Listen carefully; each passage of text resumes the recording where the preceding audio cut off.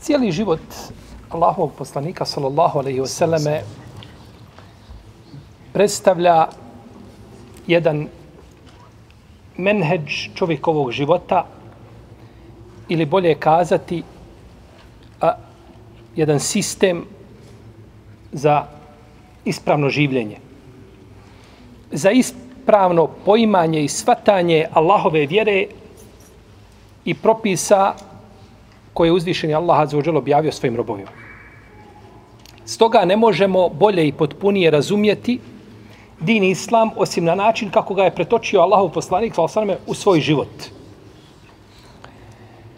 I svi njegovi postupci koje je činio su sastavni dio izgradnje ovog jednog menheđa. Ali postupak koji posebno biva upečatljiv ili ostavlja traga na, na, na ljude jeste a, ili bolje kazati jedan interesantan potez koga je povukao poslanik sa osrama, tako možemo kazati nakon dolaska u Medinu, jeste što je izgradio džamiju i povratio muhađire ensarije. Kada bi sastali se i ljudi i džini da pokušaju iznaći a, nekakav novi prioritet koji je u to vrijeme trebalo učiniti, ne bi mogli. Izgradnja džamije i da učvrsti veze među muslimanima u tadašnjem medinskom društvu. I na takvim temeljima džamija popravlja odnos ljudi sa njihovim gospodarom, a to bratimljenje je znači popravljanje odnosa među ljudima unutar društva i na takvom jednom temelju, na takvim osnovama je Allahov poslanik sa osam gradio dalje medinsko društvo koje je dalo nakon toga plodove za a, deset godina da je raširio pravdu i da je postao simbol pravde Allahov poslanik sa njegovi ashabi i društvo medinsko u to vrijeme i država koju su imali. I sve dok muslimani a, na takav način ne pristupe svatanju i poimanju dini islama, neće nikada rezultati biti onakvi kakvi bi trebali da budu. Ne kažemo da nema rezultata. Sam bereket u dini islamu, u Kur'anu, u sunnetu i tako dalje, bereket po sebi. Međutim, neće se doći do ciljanog i željenog rezultata. Stoga je, jer Stoga je dužnost ljudi da vode brigu kako o svome odnosu prema svome gospodaru, tako i o međusobnom odnosu unutar društva. I da čovjeka u društvu doživljavaš da je tvoj brat, musliman, mu'min, kaže la ilaha illallah, Muhammedur Rasulullah, on je tvoj brat. Po, po vezi koja je čvršća od same krvne veze.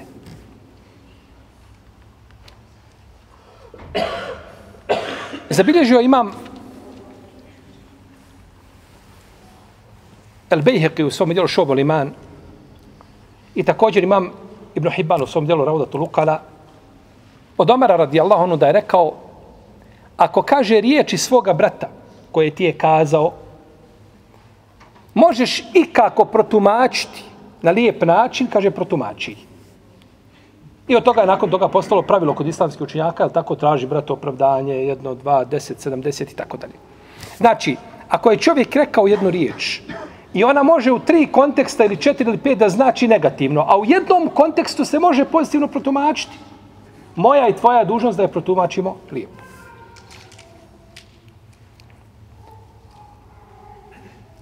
Šehol Islam Ibn Kajim kaže u svome dijelu Medariđi Salikin. U trećem tomu. Kaže, dva čovjeka kažu istu riječ. Jedan od njih želi tom riječu čisti batil, a drugi želi čisti hak istinu. Znači, dvojica ljudi kazali istu riječ, po jednom, ako smijemo kazati, kuke i motike, po drugom ništa. Pa dobro, šehol islam, sad nam je baš nejasno, stavilo sam se jednu dilemu veliku, kako sad da znamo mi, jedan kaže ovo, jedan kaže ovo, po kome ćemo kuke i motike, a po kome ćemo, koga ćemo pohvaliti. Pa kaže, tu je presudan faktor menheđ čovjeka kojim hodi i kojim ide. Čovjek želi istinu i želi hak i želi dobro. I kaže riječ koja bi mogla biti ha, kod neki sporna. Nije isti kao onaj koji svaki dan ti dolazi sa nekakvim novim avanturama. Tako. Jedan dan kaže, vidite ovaj muslimanke u Evropi, e, ne moraju da pokriju se. Ne, ne trebaju mahrame. Šamije ne trebaju u Evropi. Zašto? Kaže, prvo zato što u Kur'anu nema jasno ništa o pokrivanju. Dobro, prešutimo. Pređemo preko te greške da ne može biti veća. Sutradan dođe i kaže, slušajte, ali nema ni Mehdija. To ništa. Pa čak ako hoćete, nema ni Dejala. Iako su hadisci o Dejalu, mutevatir. Dobro, prešutimo. Hajde, prešutit ćemo. Preko sutra dođeš opet sa nekakvom novom izjavom koja, koja je znači suprotna i Kur'anu i sunnetu i da ne kažemo konsensu islamskih učenjaka. Nije isti ovaj i ovaj.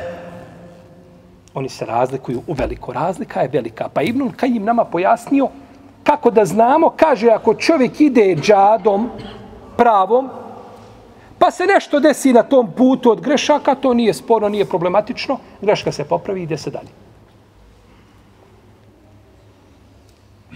Greška se popravi, vi znate da je, mi smo spomenuli ovdje prilike da je Ibn Hibban rekao, kaže, en nubuvetu el ilmu wal amel. Kaže, poslanstvo je radi dijelo. Kaže, imam zehebi, kaže, ovaj izraz koriste mu'mini i kaže, koriste ga i oni koji su se poselamili sa svojim islamom, zindici, koji su izašli van okvira islama. Jedni kažu,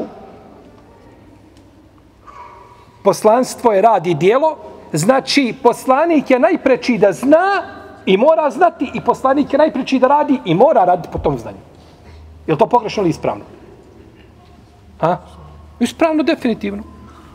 Ali drugi kažu to poslanstvo je znanje i dijelo, znači da si ti učiš puno, svaki dan sjediš, čitaš, pamtiš, pamtiš i radiš, praktikuješ i ti postaneš jednog dana, ti ostaneš, a ti, ti poslanik. Nisi više mujo, ti poslanik. E, to je ciljanje njihovo. Ibn Hibban je rekao te riječi koje kažu i drugi koji su sporni. Je li isto od Ibn Hibana i drugi? Nije. Jedan je ciljao čisti hak, a drugi je ciljao batil tim riječima. Kaže imam Zehebi, kaže mi ne kažemo da Ibn Hibban kaže ovaj ne pogrešiv. Ali kaže Ibn Hibban je imam ummeta. Neće, nije Ibn Hibban, pa to, to početnici u zdanju neće kazati. Kamo li da kaže jedan velikan poput Ibn Hibana po pitanju poslanstva da čovjek može ne znam, nekakvim samostalnim vježbama, treninzima, znanja i rada da postane šta? Šta onda znači riječ uzvišenog Allaha, Allahu, alemu, hajse, ađalu, risaleta? Allah najbolje zna kome će povjeriti svoje poslanstvo. Allah ga povjerava kome želi. On ih odabere te ljude i povjeri mu to poslanstvo. A ne ti sam nešto preko noći možeš postati nekako poslanik. Pa je razlika u tome kojim čovjek putem hodi u menheđu njegovom. Kaže šeho Islam Ibn Taymi u svojim fetvama u 27. tom, kaže muftija koji puno izdaje fetve, koji govori, koji priča, kaže da ima, kaže, stotinu grešaka, kaže, to ništa nije. Kaže, to nije mahana. Znate šta je stotinu grešaka? Stotinu grešaka se sakupio jedan ovako, može se ovako, dva ova, možda ovako, toma se mogu napraviti odgovore njemu, je tako? Greška jedna, pa i mišljenje islamskih učenjaka, pa gdje si pogriješio, pa argumenti, dokazi protiv toga, pa šta ta greška prouzrokuje? Možemo odgovoriti, znači mufti na dva toma, kaže Ibn Taymije, kaže to nije, on kaže za stotinu grešaka, kaže Ibn Taymije, kaže to nije mahana. Nije mahana. Zato što je čovjek po prirodi sklon da pogriješi. Čak je rekao še Muhammed jedne prilike, u kako stoji u dijelu Tariho Neđd. Kad je ne, odgovarao nekim svojim neistomišljenicima, kaže, nemojte me, kaže, koriti zbog jedne greške koju sam napravio. Niti zbog stotinu, niti zbog dvijesto.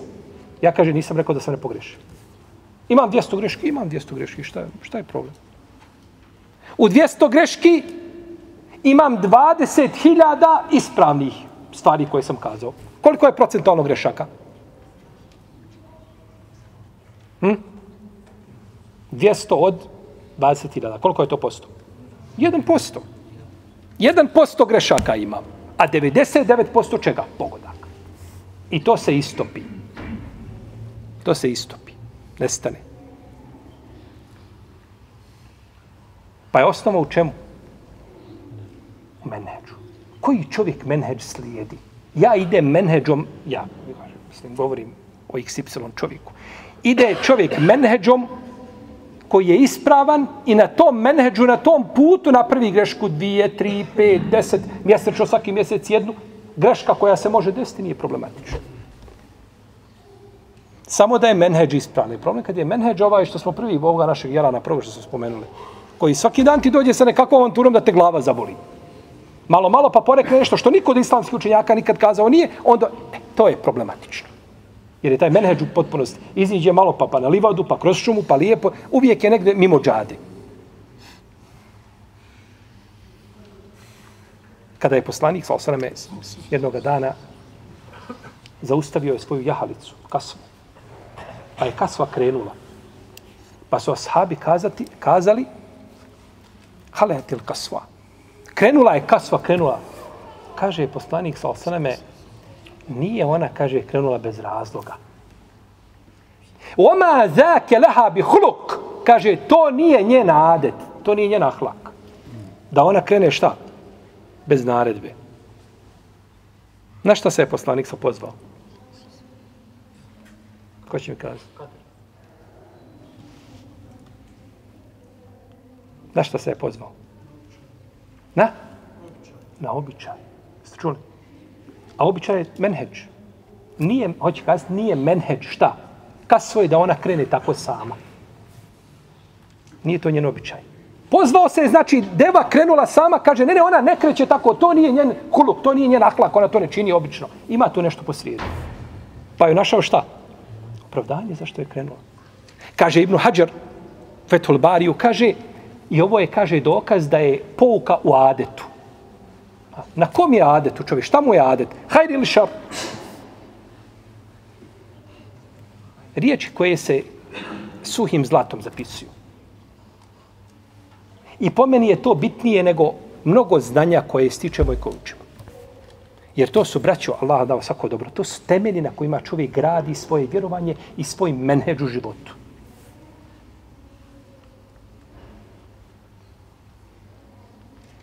Kaže, imam Zehebi u svome djelu Sir u 14. tomu kada je govorio o Katadinu Djamije Sedusiju. Učenik Anasa ibn Malika. Kaže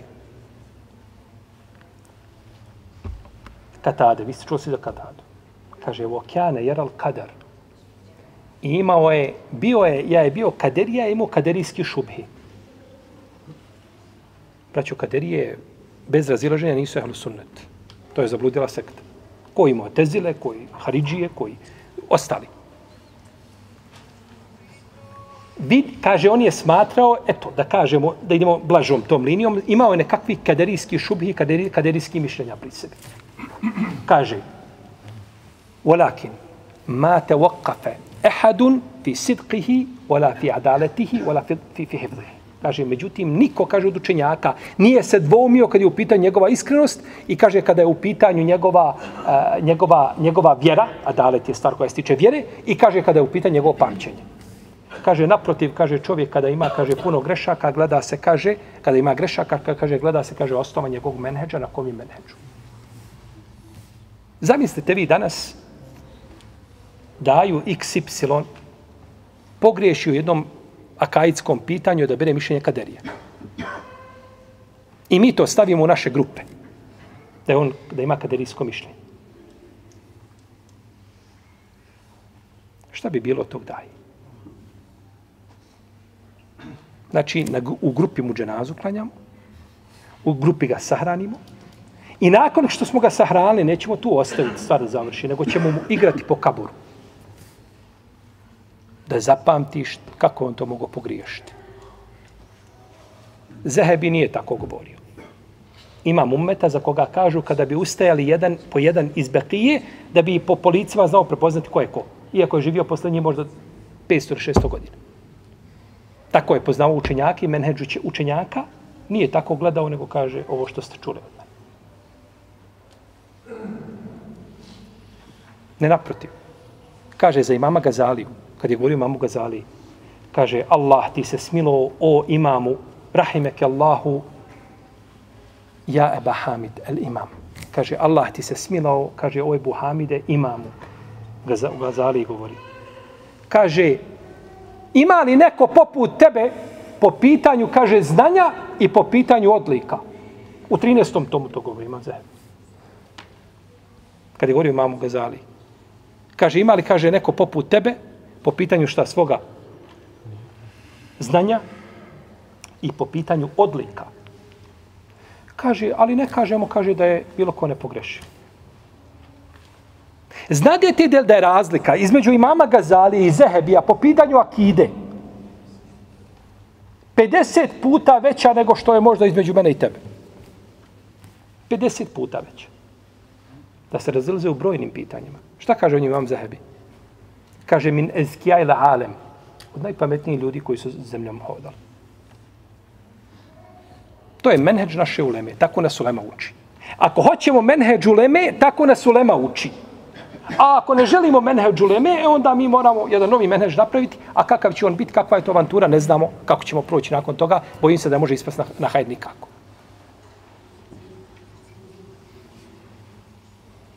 I govori imam Zehebi, kaže, isto Sijeru, kaže, kada bismo, kaže, učenjaka, kaže, zbog greške koju napravi, degradirali, kaže, ne bi ostao na miru, kaže, ni imam ni Ibnu Mende, ni Ibnu Nasr. Ibnu Mende je Mohamed Ibn Ishaq, Ibnu Mende. On je umro 325. iđeske godine. A Mohamed Ibn Nasr al-Mervozi, on je umro 224. Kaže, ne bi ostala njih dvojica na miru, to su dva velika imama. Kaže, pa čak ni onaj ko je veći od njih, ko je učeni od njih. Ko je učeni od njih? Imam Ahmed, imam Buhari i njima slično. To su oni koji su učeni. Ne bi ni oni na miru ostali. Znači, ne bi ostao niko na miru. I, i, i uh, kako kaže imam Šaltivi u svom muafakat, kaže, nije dozvoljeno, kaže čovjeka, zbog greške koju napravi, osuditi, niti odbaciti. Jer od greške, braću, nije čist niko. Kao da je imam 5, 10, 15, 20 grešaka. Dobro, šta nakon toga? To je čovjek. To je čovjek. Je li imam šafija promijenio pola mezheba? Oko pola. Ima staro i novo mišljenje. Otvorite knjige, a šafijskog fika kaže po starom i po novom mišljenju. Pa se onda učenjaci podijele šafijski u vezi s tim. Kad imam šafija, kad je mijenjao mišljenje, je li mijenjao sa, sa neispravnog na ispravno ili obratno? Ne može mijenjati sa ispravnog na ispravno. Ne mogu biti dva mišljenja, oba dva ispravna. Mogu u nekim situacijama. Međutim, tu gdje je sporno, tu može biti jedno. Pa se imam šafija kada se vrati, znači promijenio je. Pa je prvi put rekao, ljudi, ja sam pogriješio, vratio se. Imam šafija. Kakvog Dunjaluk nije vidio. Sunce takvog nije obasjalo. Ima Mahmed, ima po šest, po sedam mišljenja po jednom pitanju. Rivajeti. I ulema od uvijek tako postupala.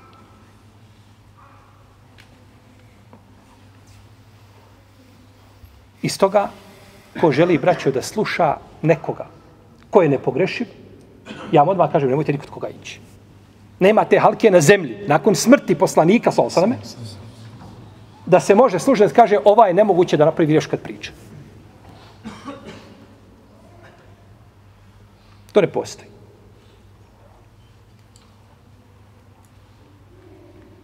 Daje se trude, rade koliko mogu daju od sebe koliko mogu.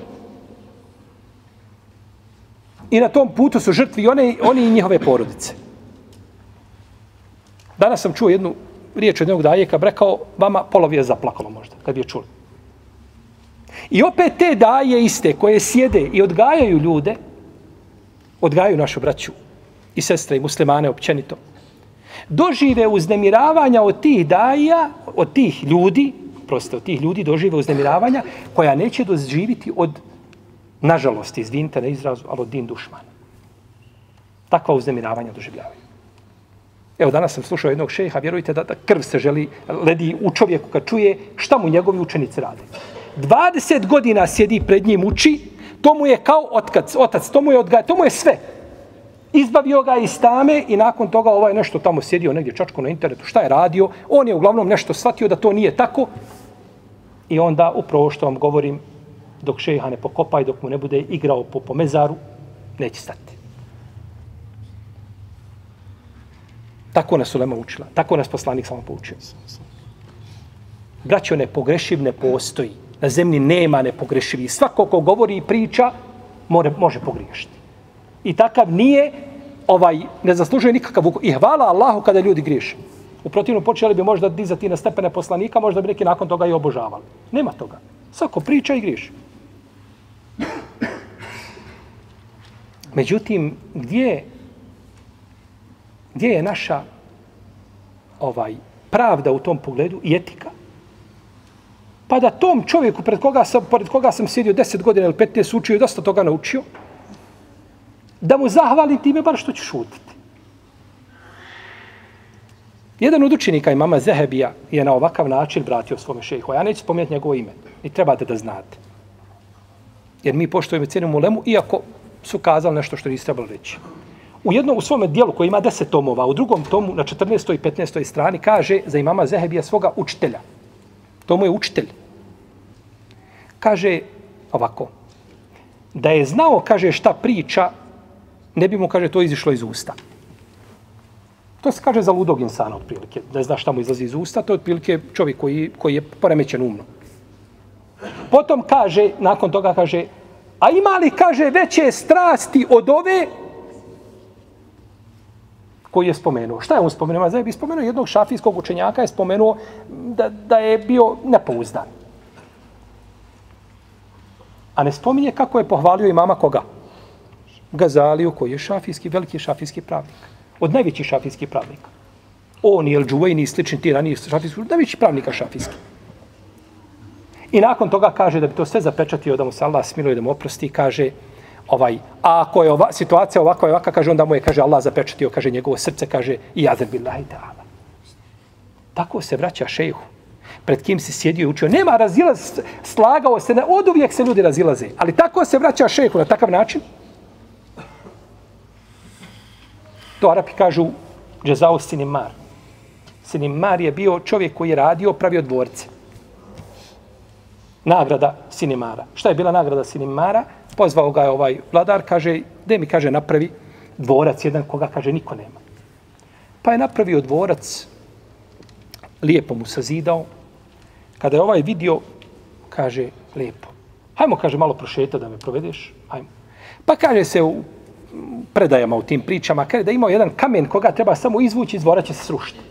I samo ga on znao kao graditelj, drugi ga ne znaju. Pa je to rekao kralju, kaže, ima li, kaže, tako, ima, kaže, kaže, zna li to neko mimo tebe, drugog? Kaže, ne zna, ja samo to znam. Pa ga je bacio s dvorca. Neki kažu, bacio ga je da, da, da ne bi napravio nekome sličan. Negdje se kaže, napravio je dvorac i rekao je kralju, kaže, da ste mi više platili. Kaže, napravio bi dvorac, kaže, da se okreće kao sunce. Imate ove je jel da gore. Ej, kaže, okrete, kako bi se on okretao, ne znam. Kako su oni imali tehniku za gradnju. Uglavnom, kaže, okretao bi se za suncem, kaže, tako, kaže, dvorac A kaže, znači, mogao se napraviti, a nisi, pa ga je bacio. Znači, nagrada mu je bila da je završio gdje? Ne bi se mi smijeli povesti za takvim ljudima. Ebu Hatim je taj imao kuju koja bi lajala kada je dola, kad dolazi neko od gostiju. Pa je mali sin njegov bacio kamenčiće na nju. Pa ga je osudio. A on je bio, kaže, bio plemen čovjek, jako bio plemen. Došao kod jednog čovjeka, pa mu ovaj zaklao ovcu. Pastir bio, imao, imao je sedam ili deset ovaca. Kaže, pa mi je, pa sam, kaže, jeo samo mozak od ovce. Eto, mozak mu se dopada nešto, neko voli jesti mozak. Pa sam, kaže, pojeo mozak, kaže, pa vidio da mu se dopada, kaže, pa je počeo da mi donosi mozgove, jedan po jedan. Pa kaže, sam se začuje, kad sam izišao, kaže, napolje, kaže, vidio sam da je sve ovce poklao, i ovce, kaže, i sve mi mozgove donio. Pa sam, pa je pitan, ko, ko je najplemenitiji, koga si vidio, kaže, taj čoban. Kaže, šta si mu dao za to? Kaže, dao sam mu, kaže, a, dao sam mu 300 velikih grla od stoke deva i kaže, dao sam mu 500 ovaca. Pa kažu, ti splemeniti od njega. On je tebi deset i njom 500. Ma nije, kaže, on je dao meni, kaže, sve što ima, a ja sam njemu, kaže, dao sedam mali dio od onoga što ja imam, bio jako bogat. E ovaj Ebu Hatim el Taj, on je imao, ili Hatim el Taj, on je imao kuju koja, je, koja je bilajala kada dolazi, dolaze gosti. Pa je mali bacio kamenčić, pogodio kuju. Kaže, nikada više da se to uradio, kaže, ona kaže, kod mene ima svoju odliku posebno, kaže, ovaj upozorava me, kaže, kad mi gosti dolaze. Hatim Taji, koji nimo veze sa vjerom, cijeni koga? Kuju.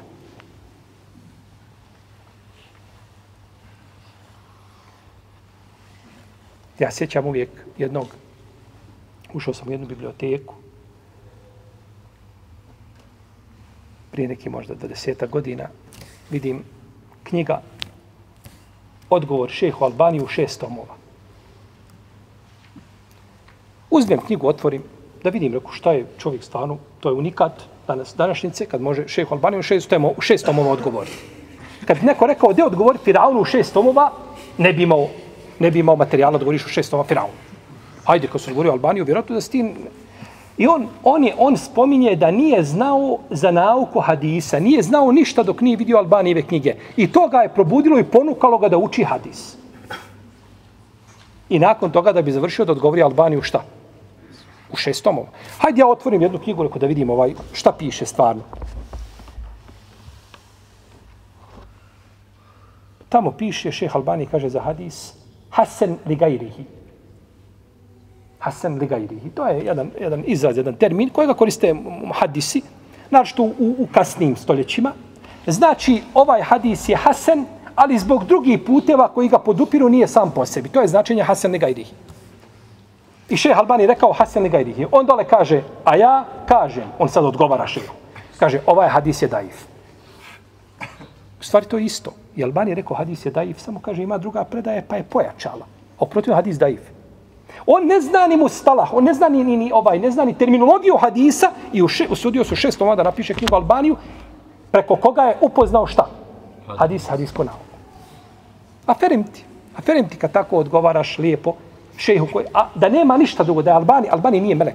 Albani može pogriješiti koji bilo koji drugi učenjak i, i ničim ne može biti ispred ni mama Buharije, ni, ni Ibnu Hadžara, ni, ni onoga koje je manje od Ibnu Hadžara. Međutim, čovjek se je trudio maksimalno da ljudima danas ovaj dostavi sunnet u najljepšem obliku i na tom putu je uradio ono što nije uradila ekipa učenjaka u naše vrijeme. I na takav način mu odgovaraš da je samo u tebi probudio želju za hadisom i za hadijskom naukom da te nauči šta je sahih, šta je daif, to je bilo dono odlike da mu, da mu, da mu poljubiš čelo kad ga sretneš ili da, da mu kažeš bar rahimehullah, a ne da mu napiše odgovor u šest tomova i nazad bar da se pogodio u svom odgovoru nego si promašio ovaj, i, i vrate i kapiju.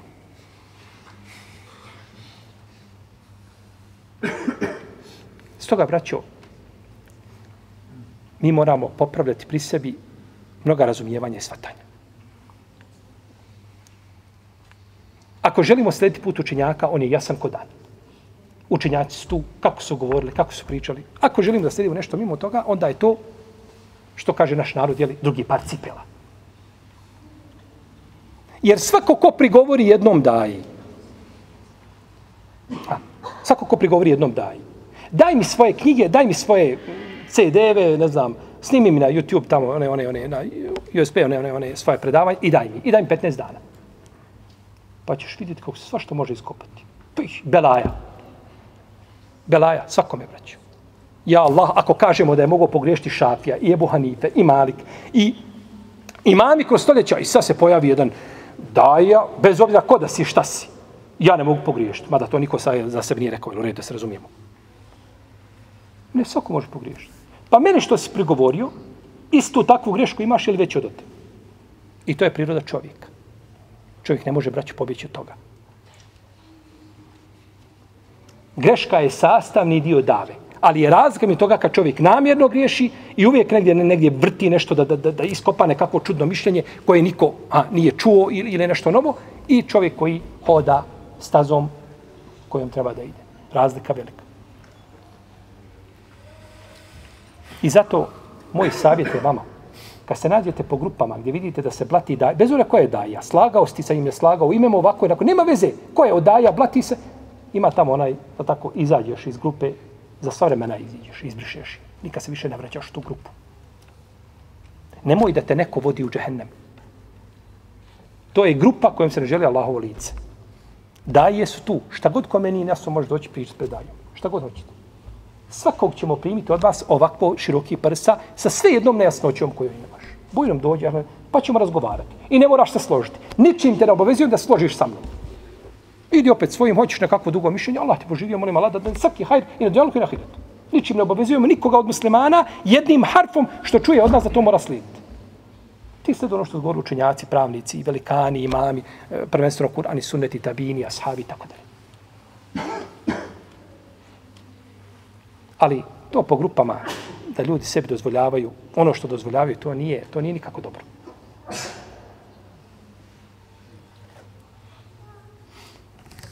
Stvoritelja te barko da nas uputi na ono što najispravnije da popravi naše stanje, naše nijete.